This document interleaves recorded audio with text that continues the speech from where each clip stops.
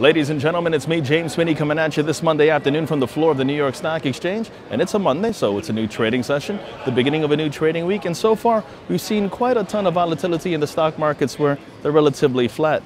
At the same time, a lot of focus is on this week because we have the Fed, we have a ton of earnings, and we also have the New York Mets in the World Series.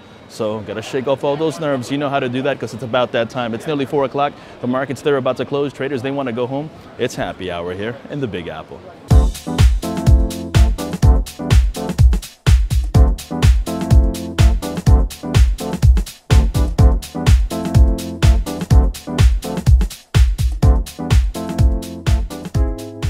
Now, U.S. stocks, they continue to trade lower this Monday afternoon right here on the floor of the New York Stock Exchange in an attempt to maintain last week's solid gains as investors continue to prepare for yet another week of earnings and central bank announcements. But first, today's economic front saw September new home sales figures fall 11.5% to a near one-year low after two straight, month, uh, two straight months of gains. But a lot of focus is not even on today's trading session. The FOMC, the Federal Open Market Committee, kicks off its two-day meeting tomorrow and is scheduled to release its statement on Wednesday afternoon.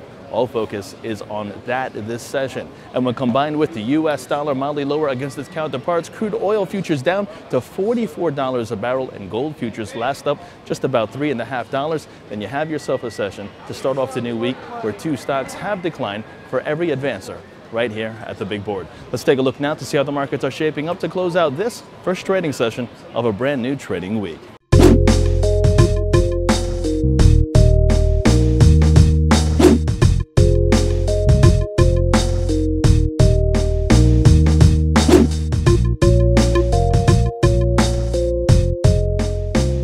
And in corporate news, big news especially here at the New York Stock Exchange as the exchange's owner Intercontinental Exchange announced today that it will acquire Interactive Data Corporation for roughly $5.2 billion. And if you want more corporate news, check out the earlier market movers report with our very own Lelda Smates. And with that stated, kick back, relax, grab yourself a drink, and I'll see you guys all tomorrow morning, which will be a very hectic one, especially for me. For ModernWallStreet.com, I'm James Sweeney.